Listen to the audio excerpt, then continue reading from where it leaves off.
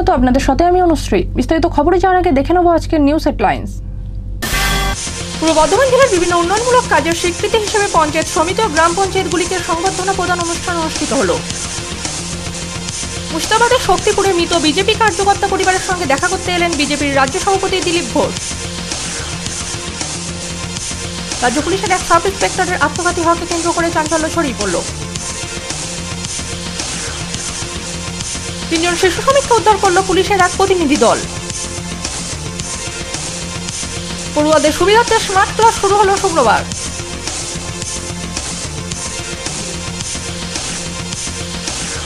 ঝাড়গ্রামের নদী তীরবর্তী এলাকায় বহু মানুষ বসবাস করে। চোখ রাখব এক ঝলকে।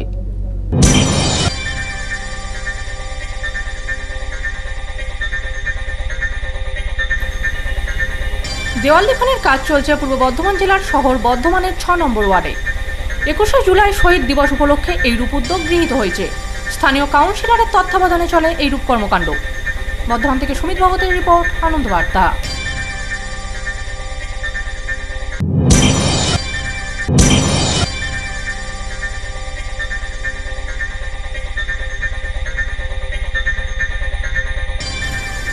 বাসার ধাক্কায় মৃত্যু হলো তিনজনের। ঘটনাটি ঘটেছে পূর্ব বর্ধমান জেলার শহর বর্ধমানের জিটি রোডে। দুর্ঘটনার জেরে ক্ষিপ্ত হয়ে ওঠেন স্থানীয় মানুষজন। দুর্ঘটনার জেরে তীব্র যানজটের সৃষ্টি হয়। পরে ঘটনাস্থলে পুলিশ গিয়ে পরিস্থিতি নিয়ন্ত্রণে আনে। বর্ধমান থেকে সুমিত ভগতের রিপোর্ট আনন্দ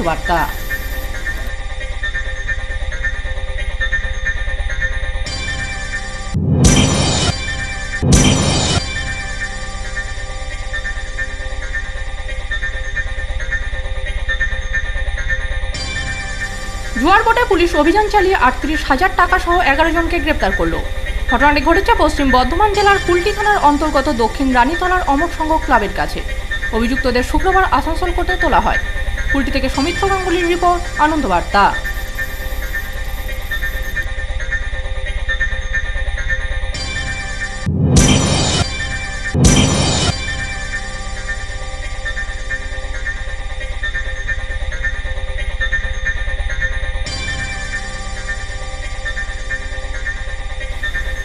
পিষ্ট হয়ে মৃত্যু হলো এক মহিলার। মৃতা মহিলার নাম মিনাহারি। ঘটনাটি ঘটেছে কুলটি থানার নিয়ামতপুর ফাঁড়ির অন্তর্গত চিনাকুড়ির ডিপিএস আবাসনে।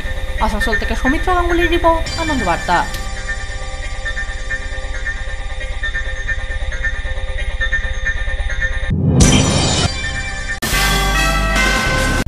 আসছে বিস্তারিত খবরে। পূর্ব বর্ধমান জেলার বিভিন্ন উন্নয়নমূলক কাজের স্বীকৃতি হিসেবে পঞ্চায়েত সমিতি ও গ্রাম পঞ্চায়েতগুলিকে সংবর্ধনা প্রদান অনুষ্ঠান অনুষ্ঠিত হল। এদিনের এই অনুষ্ঠানটি অনুষ্ঠিত হয় শহর বর্ধমানের সংস্কৃতি লোকমঞ্চে। অনুষ্ঠান মঞ্চ থেকে পুরস্কার পাওয়ায় খুশি পুরস্কার প্রাপকরা। অনুরোধ জানাচ্ছি আমাদের মাননীয় পূর্ব বর্ধমান জেলার বিভিন্ন উন্নয়নমূলক কাজের স্বীকৃতি হিসেবে পঞ্চায়েত সমিতি ও গ্রাম পঞ্চায়েতগুলিকে সংবর্ধনা প্রদান অনুষ্ঠান অনুষ্ঠিত হল শুক্রবার। এদিনের এই অনুষ্ঠানটি অনুষ্ঠিত হয় পূর্ব বর্ধমান জেলার শহর বর্ধমানের সংস্কৃতি লোকমঞ্চে। সতেরো আঠারো সালে পূর্ব বর্ধমান জেলা খুব ভালো কাজ করেছে, উন্নয়নের কাজ যা যা গভর্নমেন্ট বেসিক্যালি ম্যান্ডেট করেছে, সমস্ত স্কিম এখানে খুব ভালো করা হয়েছে। আর এখানে পুরোপুরি ক্রেডিট কিন্তু আপনাদের পূর্ব বর্ধমানের টিমের আপনারা যারা ব্লকে এবং গ্রাম পঞ্চায়েত স্তরে আমাদের স্কিমকে ইমপ্লিমেন্ট করেন। তো আজকে জাস্ট এটা অ্যাকনলেজ করা কি মেন কন্ট্রিবিউশন আপনাদের। আপনারা সবাই ভালো কাজ করেছেন, কিন্তু তাদের মধ্যেও কারা কারা এক্সেপশনাল কাজ করেছে, কোন কোন স্কিমে এক্সেপশনাল কাজ করেছে, সেটাই আমরা আজকে এখানে জাস্ট একটু অ্যাপ্রিসিয়েট করতে চলেছি। আমি আশা করি কি যেভাবে মানুষের কাছে আপনারা উন্নয়নের কাজ নিয়ে যাচ্ছেন, সেইভাবেই নিয়ে থাকবেন। পূর্ব বর্ধমান জেলা প্রশাসন ও জেলা পরিষদের উদ্যোগে অনুষ্ঠিত হয় অনুষ্ঠানটি। রাজ্যের মন্ত্রী স্বপন দেবনাথ, জেলা পরিষদের সভাপতি দেবু টুডু, বিধায়ক ডক্টর রবি রঞ্জন চট্টোপাধ্যায়। জেলা শাসক অনুরাগ শ্রীবাস্তব সহ অন্যান্যরা এদিনের অনুষ্ঠানে অংশ নেন। আয়োজকদের পক্ষ থেকে বিভিন্ন পুরস্কার প্রদান করা হয়। পঞ্চায়েত সমিতি third prize goes to Memari to panchayat সমিতি।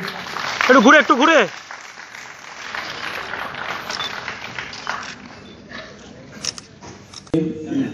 আমাদের মুখ্যমন্ত্রী মমতা বন্দ্যোপাধ্যায় যেসব প্রকল্প তিনি করেছেন এবং প্রকল্পের ঘোষণা যা করেছেন সেগুলো সঠিকভাবে বাস্তবে রূপায়িত করবার দায়িত্ব পঞ্চায়েতের। প্রশাসন সহযোগিতা করতে পারে।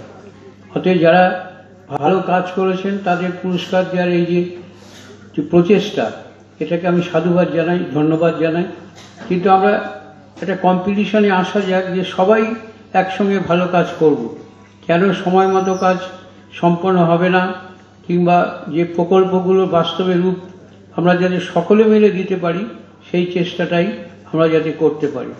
আর চেয়ে বেশি কিছু বলার নেই। স্বীকৃতি প্র- প্রদান অনুষ্ঠানে যারা স্বীকৃতি পাচ্ছেন, তারা নিঃসন্দেহে তাদের ধন্যবাদ জানাব। যারা পাচ্ছেন না, তারা যাতে আগামীবার পেতে পারেন, তার চেষ্টা আপনারা সবাই করুন। ধন্যবাদ সকলকে সকলকে নমস্কার জানাচ্ছি।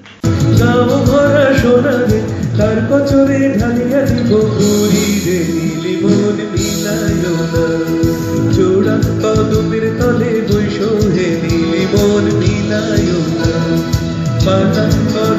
তলে বৈশ হে নীলি মন আমরা জেলার পক্ষ থেকে পঞ্চায়েত পঞ্চায়েত সমিতিকে আহ্বান করেছি স্বীকৃতি প্রদান অনুষ্ঠান। অনেকে হয়তো আসেননি। তো এটা আমরা দীর্ঘদিন ধরে করছি। যবে থেকে একটা বোর্ড হচ্ছে, এটা একটাই দেওয়ার কারণটা হচ্ছে যে একটা বডি কাজ করছে, তার ভালো মন্দ সবাইকার মধ্যে থাকবে, এইটা স্বীকৃতি দেওয়া, তাকে একটু উৎসাহ প্রদান প্রদান করা।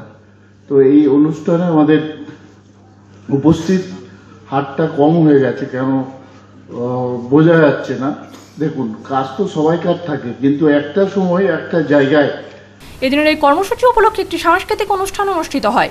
অনুষ্ঠান মঞ্চ থেকে পুরস্কার পাওয়ায় খুশি পুরস্কার প্রাপকরা। বর্ধমান থেকে সুমিত ভগতের রিপোর্ট, আনন্দবার্তা। মুর্শিদাবাদের শক্তিপুরে মৃত বিজেপি কার্যকর্তা পরিবারের সঙ্গে দেখা করতে এলেন বিজেপির রাজ্য সভাপতি দিলীপ ঘোষ। পরিবারের সঙ্গে দেখা করার পর তিনি সাংবাদিকদের সামনে তীব্র ক্ষোভ উগড়ে দেন। যদিও ঘটনার সঙ্গে যুক্ত কাউকে গ্রেপ্তার করতে পারেনি পুলিশ। মুর্শিদাবাদের শক্তিপুরের মৃত বিজেপি কার্যকর্তা পরিবারের সঙ্গে দেখা করতে এলেন বিজেপির রাজ্য সভাপতি দিলীপ ঘোষ। তিনি শক্তিপুরের তালডাঙ্গায় মৃত বিজেপি কার্যকর্তা ধর্ম হাজরার বাড়ি গিয়ে পৌঁছান। সঙ্গে উপস্থিত ছিলেন মুর্শিদাবাদ জেলার বিজেপি সভাপতি গৌরীশঙ্কর ঘোষ। এদিন মৃতের পরিবারের সঙ্গে দেখা করার পর দিলীপবাবু সাংবাদিকদের সামনে তার তীব্র ক্ষোভ উগড়ে দেন। প্রসঙ্গত, গত পয়লা জুলাই হঠাৎ নিখোঁজ হয়ে যান বিজেপির কার্যকর্তা ধর্ম হাজরা। পরে তার দেহ একটি দিঘি থেকে উদ্ধার করা হয়। এর ফলে ব্যাপক আলোড়নের সৃষ্টি হয় গোটা রাজ্য জুড়ে। এগারো জনের বিরুদ্ধে থানায় অভিযোগ দায়ের করা হয়, যদিও এখনও কাউকে গ্রেপ্তার করতে পারেনি পুলিশ।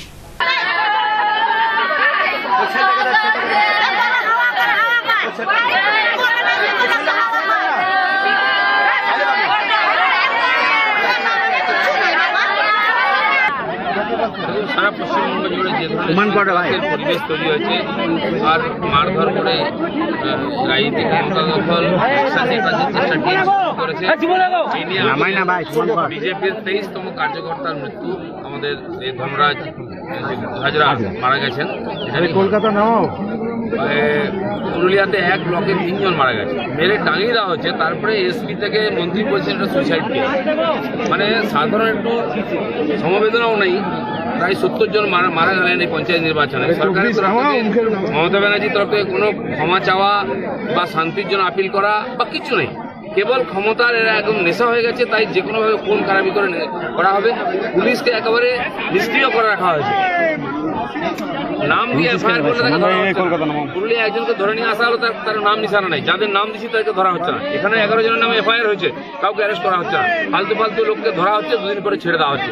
খালি মানুষকে বিভ্রান্ত করার জন্য। খুবই দুঃখজনক এবং মানে নিরাশাজনক পরিস্থিতি পশ্চিমবাংলায়। এইভাবে যদি চলতে থাকে কোথায় গিয়ে পৌঁছবে? আবার সুপ্রিম কোর্টে কেস চলছে যদি সুপ্রিম কোর্ট কুড়ি হাজার আসনে নির্বাচনের রায় দেন আবার একটা মার্কাট পুরোপুরি হবে। পশ্চিমবাংলার মানুষ কি সাধারণভাবে তাদের ভোটাধিকার প্রয়োগ করতে পারবে না? তাদের গণতান্ত্রিক অধিকার নিয়ে বাঁচতে পারবে না ভোটে দাঁড়াতে পারবে না ভোট দিতে পারবে না? অন্য পার্টি করতে পারবে না টিএমসি ছাড়া তাহলে তাকে খুন করে দেওয়া হবে। আমরা কোন রাজত্বে বাস করছি? এটা কি ভারত গণতান্ত্রিক দেশ? এটা কি ভারতের সংবিধানের অন্তরে ভিতরে আছে? আমাদের আজকে আজকে প্রশ্ন আছে। প্রশ্ন আছে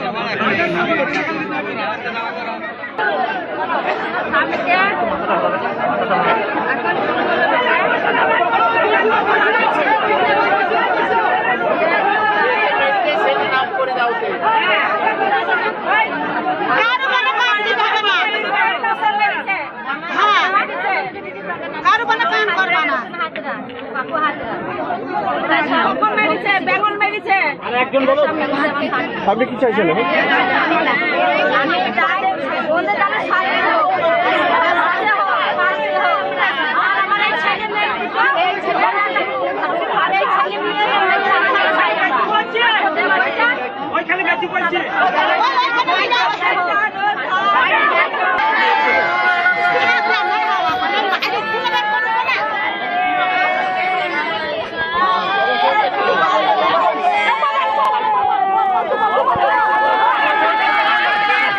মুর্শিদাবাদ থেকে সৌমিত্র দাসের রিপোর্ট, আনন্দবার্তা। রাজ্য পুলিশের এক সাব ইন্সপেক্টর আত্মঘাতী হওয়াকে কেন্দ্র করে চাঞ্চল্য ছড়িয়ে পড়ল। ঘটনাটি ঘটেছে বাঁকুড়া জেলার শালতোরা থানায়। পুলিশ ঘটনার তদন্ত শুরু করেছে। রাজ্য পুলিশের এক সাব ইন্সপেক্টর বিশ্বনাথ মণ্ডল নিজের সার্ভিস রিভলভার দিয়ে কানে গুলি মেরে আত্মহত্যা করলেন। তিনি বাঁকুড়া জেলা পুলিশের শালতোরা থানায় কর্মরত ছিলেন। বাড়ি বাঁকুড়া জেলার গঙ্গাজলঘাটি এলাকায়। বছর দেড়েক আগে তিনি এএসআই থেকে সাব ইন্সপেক্টর পদে উন্নীত হন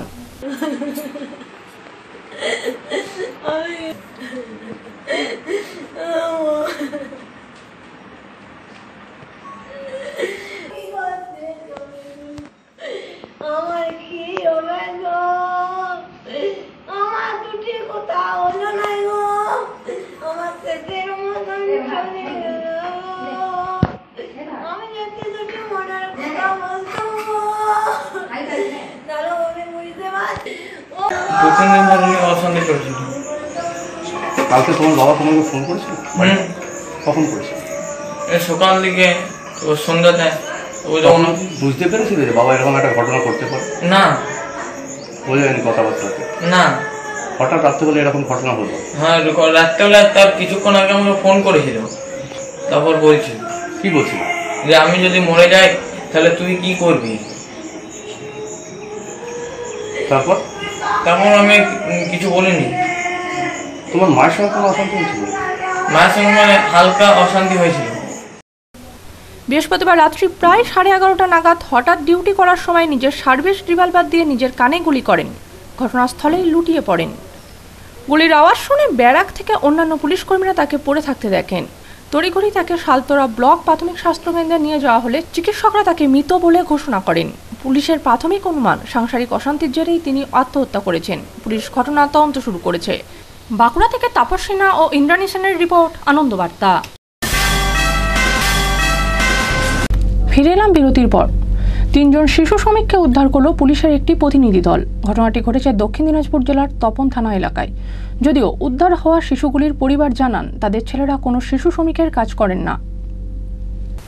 দক্ষিণ দিনাজপুর জেলার তপন থানা এলাকার ভিকাহার এবং খড়দহ থেকে তিনজন শিশু শ্রমিককে উদ্ধার করল পুলিশের অ্যান্টি হিউম্যান ট্রাফিকিং ইউনিট উদ্ধার হওয়া তিনটি শিশুকে শুক্রবার চাইল্ড লাইনের হাতে তুলে দেয় পুলিশ। এদিনই তিনজন শিশুকে তাদের পরিবারের হাতে তুলে দেয় চাইল্ড লাইন। উদ্ধার হওয়া শিশুদের পড়াশোনার ব্যবস্থার পাশাপাশি তাদের ওপর বিশেষভাবে নজর রাখবে চাইল্ড লাইন কর্তৃপক্ষ।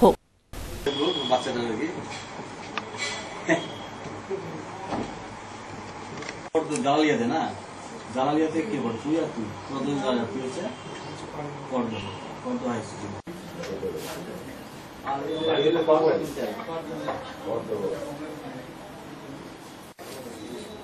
গতকাল দক্ষিণ দিনাজপুর জেলা পুলিশ প্রশাসনের অ্যান্টি হিউম্যান ট্রাফিকিং ইউনিটের উদ্যোগে সারা জেলা জুড়ে আমাদের অপারেশন আনন্দ বলে একটা প্রোগ্রাম কর্মসূচি শুরু হয়েছে সারা রাজ্যে। তো তারই অঙ্গরূপে আমাদের দক্ষিণ দিনাজপুরের তপন থানা এলাকা থেকে আমরা তিনটি শিশু শ্রমিক উদ্ধার করি যারা কেউ গ্রিল ফ্যাক্টরিতে, কেউ মিষ্টির দোকানে, কেউ খাবারের হোটেলে কর্মরত অবস্থায় ছিল। তো আমরা শিশুগুলোকে আপাতত চাইল্ড লাইনে হেফাজতে রেখেছি। আমরা সিডব্লিউসি জলপাইগুড়ি সাথে কথাবার্তা বলে এদের বাড়িতে ফেরত পাঠানোর উদ্যোগ নিচ্ছি এবং পরবর্তীতে শিশুগুলো যাতে সমাজের মূল ফিরে আসতে পারে এবং তাদের শিক্ষার অধিকার সুনিশ্চিত হয়, সেগুলো আমরা আমাদের দপ্তর থেকে দেখার চেষ্টা করছি। চলতি মাসে শিশু শ্রমিকদের উদ্ধারের অপারেশন আনন্দ নামে এক বিশেষ অভিযান সারা রাজ্যের সঙ্গে দক্ষিণ দিনাজপুর জেলাতেও শুরু হয়েছে। Anti human trafficking unit grill factory hotel এবং বিভিন্ন দোকানের শিশু শ্রমিক হিসেবে কাজ করছে যারা তাদের উদ্ধার করে পরিবারের হাতে তুলে দেওয়া হচ্ছে। যদিও ওই শিশুগুলির পরিবারের দাবি, তাদের ছেলেরা কোনো শিশু শ্রমিকের কাজ করে না। দক্ষিণ দিনাজপুর থেকে রানা চ্যাটার্জির রিপোর্ট, আনন্দবার্তা।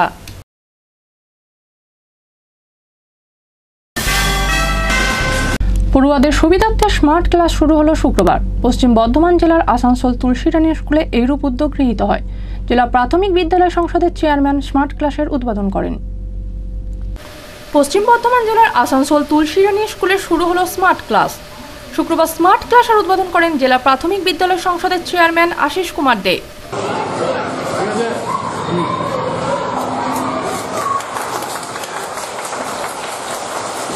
এছাড়াও এদিনের অনুষ্ঠানে উপস্থিত ছিলেন স্থানীয় কাউন্সিলর ও স্কুলের শিক্ষা সেলের সদস্য গুরুদাস চ্যাটার্জি।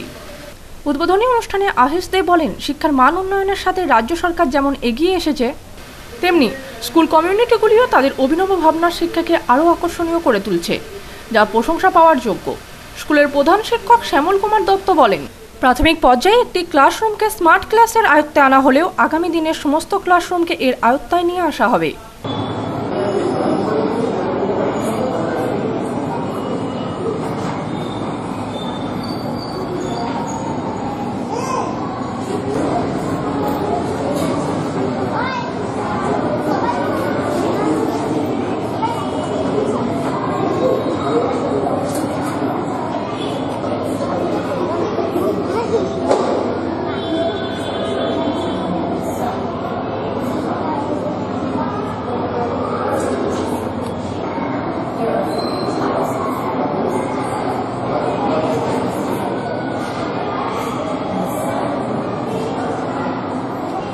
ছোট ছোট বাচ্চাদের স্কুলমুখী যাতে করা যায়। আমরা দেখি যে খুব ছোট ছোট বাচ্চা, প্রথম যখন তাদের স্কুল শুরু হয়, তখন কিন্তু না আসার বাহানা করে। এটা কিন্তু আমার মানে ইয়ে লাইফে আমি প্রথম দেখেছিলাম। আমাদের বিভিন্ন ধরনের অ্যাক্টিভিটি থাকাতে বাচ্চারা যাতে স্কুলমুখী হয়, স্কুলে এসে যেন আনন্দ পায়। আমরা যেমন মানে একবারে নার্সারি লেভেলে বাচ্চাদের দিদিমণিদের বলি যে এক দেড় মাস শুধু খেলাতে। মানে খেলার ছলে মানে ওদিকে বিভিন্ন অ্যাক্টিভিটি শেখাতে। এটা একটা ইয়ে আছে। এর সঙ্গে আমরা যেটা এখন স্মার্ট টিভির সাহায্যে ইয়ে করার ইয়ে চিন্তা ভাবনা করেছি। মানে এটা যাতে ছেলেদের মানে যেটা বাড়িতে টিভিতে বিভিন্ন কার্টুন দেখছে, পড়াশোনা নিয়েও বিভিন্ন কার্টুন বা অ্যানিমেশন আছে। এটা আমি রেগুলার সন্ধ্যেবেলায় এক দেড় ঘণ্টা ইউটিউবে বিভিন্ন আমাদের সিলেবাস অনুযায়ী জিনিস আমি ইয়ে ইয়ে করি দেখি।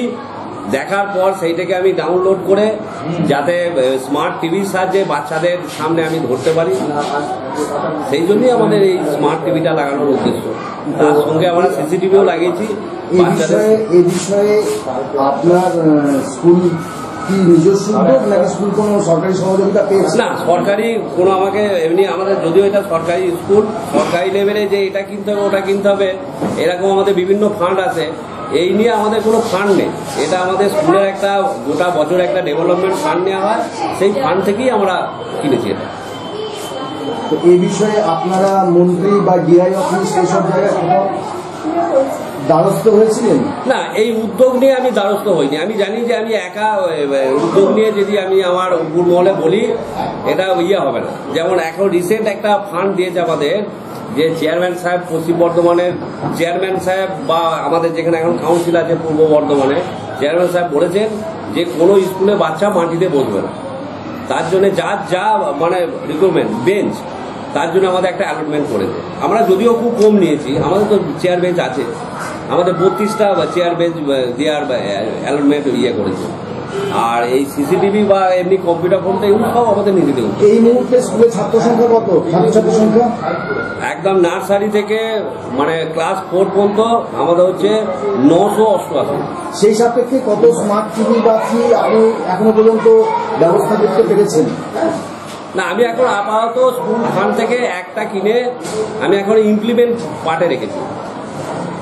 যাতে ভবিষ্যতে আমি আরও যদি সরকারি উদ্যোগ যদি ইয়ে সাহায্য যদি পাই হ্যাঁ আমি নিশ্চয়ই ক্লাসে ক্লাসে লাগাবার আমার চিন্তা ভাবনা আছে।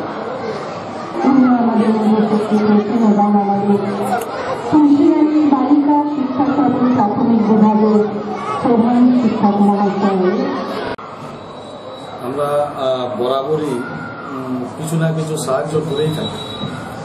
স্কুল বিল্ডিং থেকে আরম্ভ করে এমএলএ কোটাতে দেওয়া হয়েছিল টাকা। তার কাজ সম্পন্ন হয়েছে। এখন এই স্মার্ট টিভি দিয়ে প্রথম একটি ইয়েতে হয়েছে, আমি আমাদের মাননীয় মন্ত্রী মলয় ঘটের কাছে আবেদন জানাব, যাতে এই উদ্যোগকে আরও প্রভাবিত করা হয় এবং প্রতিটি ক্লাসে যাতে লাগানোর ব্যবস্থা করা হয়, তার জন্য আমি শ্যামলবাবুকে বলব একটা চিঠি করুন। আগে উনি বোধ হয় দুটো চিঠি করেছেন। এবং আর একবার চিঠি করুন। আমার মনে হয় না এটার জন্য বিশেষ কিছু তদারকি করার প্রয়োজন আছে। উনি সব জায়গায় সাহায্য করে থাকেন এক্ষেত্রেও সাহায্য করেন ভবিষ্যতে আমাদের এসব এমনিতেই অতীতে এখানে কিছু স্মার্ট স্কুল চালু করা গেছে। ভবিষ্যতে এখানে সমস্ত স্কুলগুলোকে স্মার্ট ক্লাসের দিকে এগুলো নিয়ে যাওয়া যাবে? আমার মনে হয় যে উদ্যোগ শ্যামলবাবু নিয়েছেন তার দৃষ্টান্ত স্বরূপ আরও স্কুলে করা উচিত যাতে বাচ্চারা আরও স্কুলমুখী হয়। আমাদের যেটা আমাদের মাননীয় মাননীয় মুখ্যমন্ত্রী যে প্রচেষ্টা যে প্রতিটি ছেলে যাতে স্কুলমুখী হয়। যেমন দেখবেন জুতো থেকে মজা স্কুল ড্রেস কন্যাশ্রী থেকে আরম্ভ করে পাস না পড়লে বিয়ে হয়ে গেলে পঁচিশ হাজার টাকা ব্যাগ থেকে আরম্ভ করে সমস্ত যে ওনার যে কল্প যে স্বপ্ন, সেটাকে আমাদেরকে সফল করার জন্য আরও বেশি উদ্যোগ নিতে হবে এবং আমরা স্থানীয় লেভেলে যেখানে জানানো সেগুলোকে জানাব এবং আশা করি আগামী দিনে প্রতিটা ক্লাসেই স্মার্ট টিভি দিয়ে চালু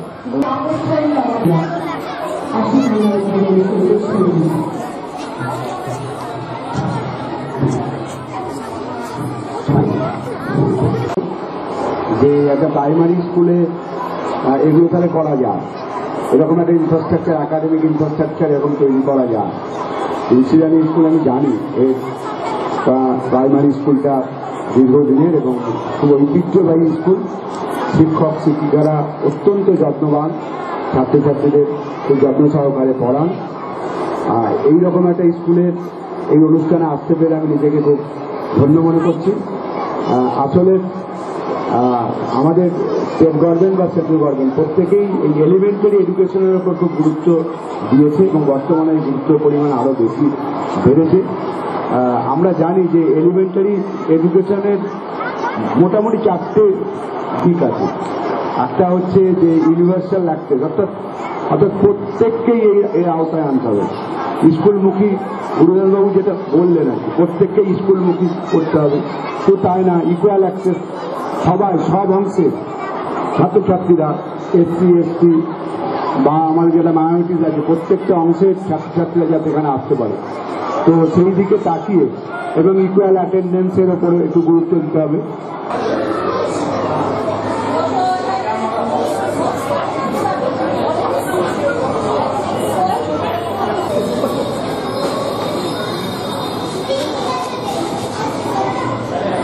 আসানসোল থেকে সৌমিত্র গাঙ্গুলির রিপোর্ট আনন্দ বার্তা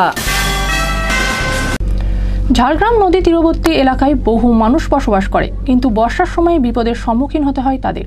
ঝাড়গ্রামের জেলাশাসক বন্যা প্রবল এলাকার মানুষদের স্বার্থে বিভিন্ন পরিকল্পনা নিয়েছেন। প্রতি বছর ঝাড়গ্রাম জেলার লালগড় খেরুয়া পলাশী ইছাপাড়া রাবগেছা ভৈরবকুণ্ডু আধারজোড়া ভুলকা আগরপুরা সহ বিভিন্ন গ্রামে পাঁচশোর বেশি পরিবার নদী তীরবর্তী এলাকায় বসবাস করে। প্রতি বছর তাদের চাষের জমি বাসস্থান জলে তলিয়ে যায়। এবছর বর্ষা শুরু হতেই আতঙ্ক গ্রাস করেছে ওই সমস্ত এলাকার মানুষদের। সামনে ভারী বর্ষা। গালুটি থেকে জল ছাড়লে গ্রামগুলি প্লাবিত হওয়ার আশঙ্কা রয়েছে। এই ভাবনায় তাদের ঘুম নেই। একই চিত্র জঙ্গলমহলের সুবর্ণরেখা কংসাবতীর ডুলুং নদী লাগোয়া গ্রামগুলির। এলাকাবাসীদের অভিযোগ নদী পার যেভাবে বাঁধানো হয়েছে তা যথেষ্ট নয়। খুঁটি বাস দিয়ে জল আটকানোর চেষ্টা করা হয়েছে। ঝাড়গ্রামের জেলাশাসক এ আয়সা রানী জানান, বন্যা প্রবল এলাকাগুলিতে নজর রাখা হচ্ছে। উদ্ধারকারী দল প্রস্তুত। দরকার হলে বন্যা আসার আগে বন্যা প্রবল এলাকার মানুষদের নিরাপদ জায়গায় সরিয়ে নিয়ে যাওয়া হবে।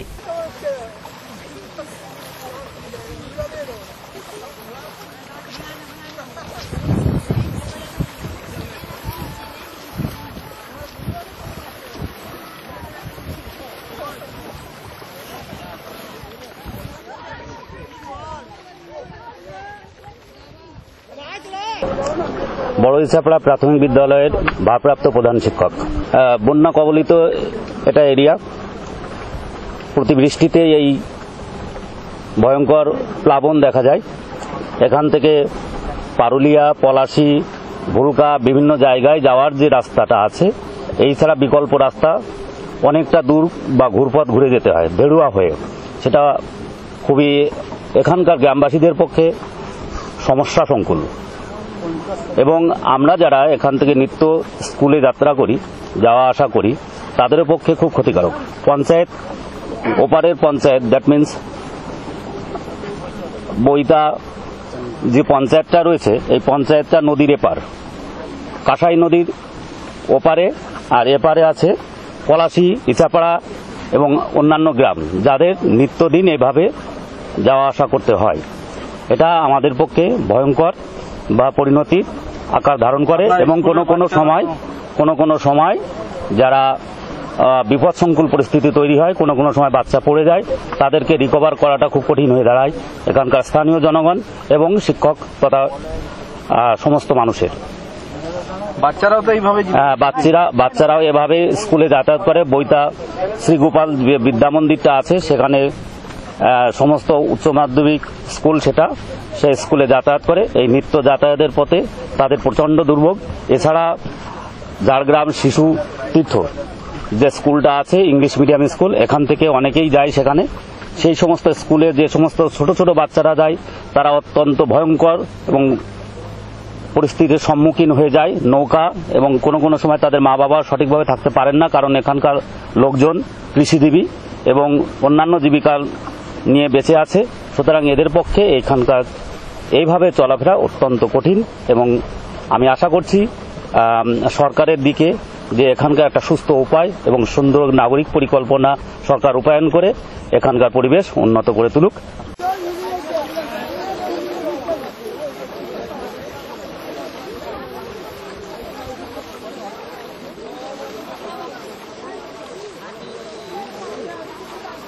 এইভাবে নদীতে মানে হেঁটে পেরিয়ে যদি ব্রিজ ধারে যদি জল না বেড়ে তাহলে ব্রিজে পেরিয়ে যায়। এবারে বৃষ্টি হলে তখন নদীতে জল বেড়ে যায় প্রচুর তখন হেঁটে পেরোতে হয়। নদীতে? হেঁটে পেরোতে হয়। ভয় লাগল কি করব বলুন? আপনাদের করতে হবে। ভয় লাগল হেঁটে পেরোতে হয়। জীবনের একটা ভয় থাকে যাতায়াত অবশ্যই ভয় থাকে। কি অবস্থা হয় স্কুলে অবশ্যই মানে কোনোদিন কোনোদিন যদি ঝাড়গ্রাম কোচিং আসার সময় বাড়ি ফিরে অনেক দেরি হয়ে যায় তখন আর স্কুল যেতে পারি না। স্কুলে দেরি হয়ে পৌঁছতে হয় নাহলে একটা ক্লাস পাই না। অসুবিধা হয় কোনোদিন কোনোদিন আবার প্যান্ট ভেজেও যায় প্যান্ট জামা তখন ভেজা অবস্থায় আমাদেরকে স্কুল কোচিং যেতে হয় এইভাবে পড়াশোনা করতে হয় আর ছোট ছোট তো অনেক বাচ্চা আছে যাদের মাথা ডুবে যাবে জলে তারা কীভাবে তারা ওইভাবে কোনো মতে হেঁটে পায় আরও বাড়ি গার্জেন তাদেরকে পৌঁছানোর চেষ্টা করে সব দিন আবার স্কুল প্রাইভেট যাওয়াও হয় না কোনো দিন আবার কোচিং যেতে দেরি হয়ে যায় বাস পায় না বাসে যেতে হয় এইভাবে সাইকেলও বের করে পায় না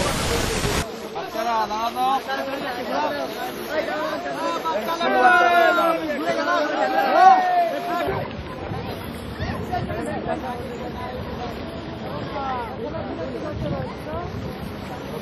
দাদা, ওইটা এলাকাতে আমাদের একটা দীর্ঘদিনের দাবি আছে। আমাদের বিষয়টা নলেজে আছে মানুষের প্রচুর কষ্ট হয়, যাতায়াতের অসুবিধা আছে। এই নিয়ে আমরা ঊর্ধ্বতন সাথে কথা বলে আমরা খুব শীঘ্রই সেটাকে সমাধান করার জন্য চেষ্টা করব। এর আগে আমাদের পঞ্চায়েত সমিতিতে আলোচনা হয়েছে সেটা আমরা জেলা স্তরে আলোচনা করে নিরাপদের সাথে কথা বলে এই জায়গাটা সমাধান করতে চাইছি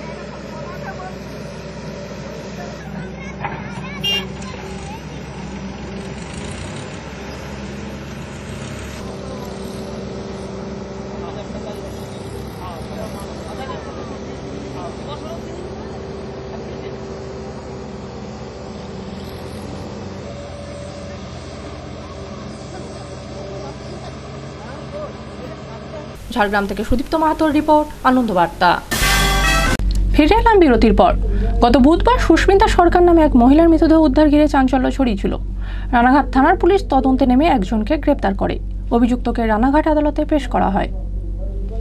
গত বুধবার নদিয়া জেলার রানাঘাট থানার পায়রাডাঙ্গায় উনিশ বছরের সুস্মিতা সরকারের রক্তাক্ত মৃতদেহ উদ্ধার হয়। উল্লেখ্য, তিন বছর আগে সুস্মিতার বিবাহ হয়। গত চার মাস আগে থেকে বাপের বাড়িতে থাকতে শুরু করে। সুস্মিতার মোবাইলের কল লিস্ট চেক করে রানাঘাট থানার পুলিশ অভিজিৎ কুণ্ডু নামে এক যুবককে গ্রেপ্তার করে। অভিযুক্ত অভিজিৎ কুণ্ডুকে রানাঘাট আদালতে পেশ করা হয়।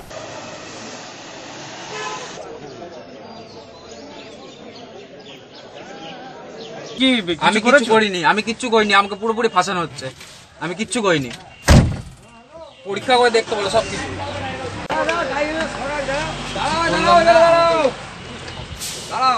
নদিয়া থেকে কৌশিক রায়ের রিপোর্ট, আনন্দবার্তা। দুশো জন দুস্থ মানুষকে দুপুরের খাওয়ার খাওয়ালেন এক দম্পতি। ওই দম্পতির পঞ্চম বিবাহবার্ষিকী উপলক্ষে এইরূপ উদ্যোগ নেন। দম্পতির এইরূপ পরিকল্পনাকে সকলেই স্বাগত জানিয়েছেন। কোচবিহার জেলার দেউনহাটের বাসিন্দা, পেশায় ব্যবসায়ী, পিনাকি বসাক ও বাসন্তীহাটের লিপি বসাক। তাদের পঞ্চম বিবাহবার্ষিকী উপলক্ষে পুন্ডিবাড়ি বাসদহ নতিবাড়ি এলাকার তোরসা ব্রিজের নিচে প্রায় দুশো জন দুস্থদের দুপুরের খাওয়ানোর ব্যবস্থা করেন। এর উপরে তোমার মোটামুটি গাছ হবেই যা দেখা যাচ্ছে। তাও এরকম এইরকম ঝড়কে আগে দেখেছিলেন কোনোদিনও? না কোনো ঝড় হয়নি তো। আচ্ছা আচ্ছা। কোনো হাওয়া নাই। কোনো হাওয়া নেই? না। তা কি হয়েছে? শুধু পশ্চিম থেকে একটা ঝমঝম ঝমঝম একটা আওয়াজ। হ্যাঁ। আর পূর্ব থেকে হালকা একটু হাওয়া ছিল। আচ্ছা। তা তখন আমরা বাইরে বাইরে হচ্ছি বাইরে থেকে বাথরুম করার জন্য বাইরে হচ্ছি হ্যাঁ, ওই আওয়াজটা পাই ঘরে ঢুকে গেছি। আচ্ছা। ঘরে ঢুকে মনে করেন যে হাসলে তিরিশ সেকেন্ড এক মিনিট হয় নাই। হুম। এইটুকু সময়ের ভিতরে শুধু মস মস মস মস আওয়াজ হলো হয়ে চলে গেল তার আগে একটু গন্ধ ছিল আওয়াজটা আসার আগে। তার মানে মনে করেন আওয়াজটা হয়তো দশ হাত পিছনে মস মস করার দুই এক সেকেন্ড আগে একটা শ্বাস করে গন্ধ লাগল আর কি। তা মস মস করে ভেঙে গেল সঙ্গে সঙ্গে বাইরে এলাম দেখলাম কোনো হাওয়া বাতাস নাই ওই যে যেমন তিরপলটা টানানো একটি স্বেচ্ছাসেবী সংগঠনের সহযোগিতায় সমস্ত কর্মকাণ্ডটি অনুষ্ঠিত হয়। পিনাকি বসাক জানান, প্রতি বছর ধুমধাম করে বিবাহবার্ষিকী পালন করি। একদিন এলাকার মানুষদের পাশে দাঁড়াতে পেরে খুশি। বসাক দম্পতির এইরূপ উদ্যোগকে সকলেই সাধুবাদ জানান।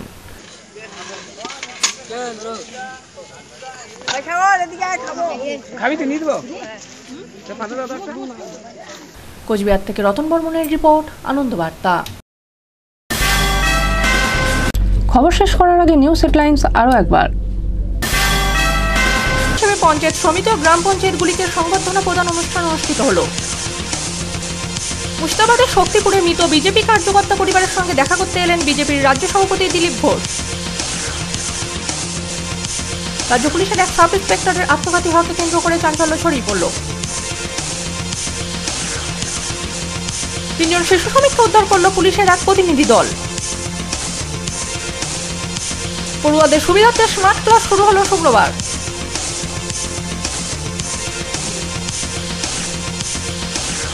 ঝাড়গ্রামের নদী তীরবর্তী এলাকায় বহু মানুষ বসবাস করে। এখনকার মতো খবর এ পর্যন্তই। পরবর্তী খবরের জন্য চোখ রাখুন শুধুমাত্র আনন্দ বার্তায় আপনারা দেখছেন আনন্দ বার্তা আমরা নিরপেক্ষ নই মানুষের সাথে, সমাজের পক্ষে। নমস্কার।